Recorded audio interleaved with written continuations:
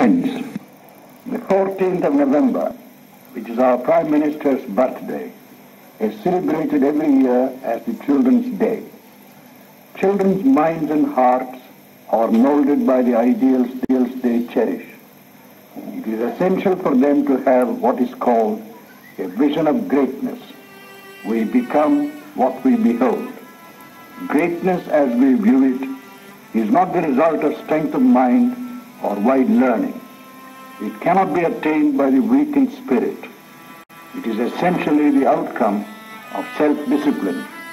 Nayam atma balaheenena labhya na medhaya na bahunashritena. Only by tyaga, self-denial, can we attain our goal. Nehru's whole life is this devotion to peace, passion for freedom, boundless love and concern for children's welfare.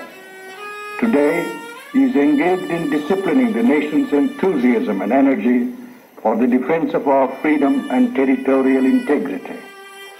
His freedom from prejudice, from from any trace of fanaticism, his universality of spirit should be absorbed by our children. Deep in our nature is reverence for life, and this quality should be strengthened by the training we give our children. They should develop respect for human dignity, decency, and freedom. Whatever difficulties we may encounter, these ideals should be preserved.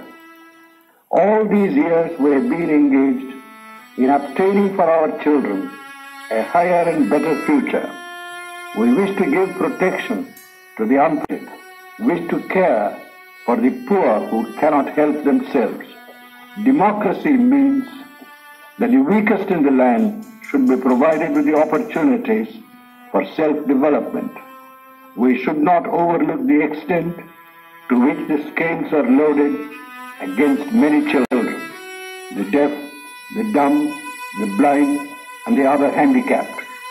There are no wicked children.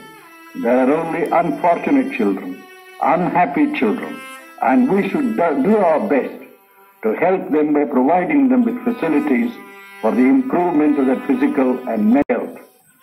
We live today in a society which is democratic and competitive, where the position of a person is determined by striving, not by status, by work done, not by inheritance and privilege.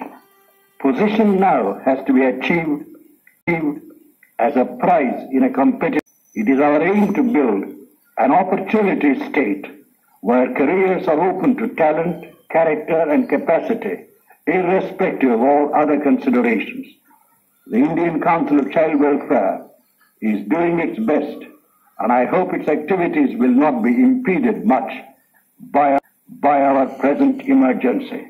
Thank you.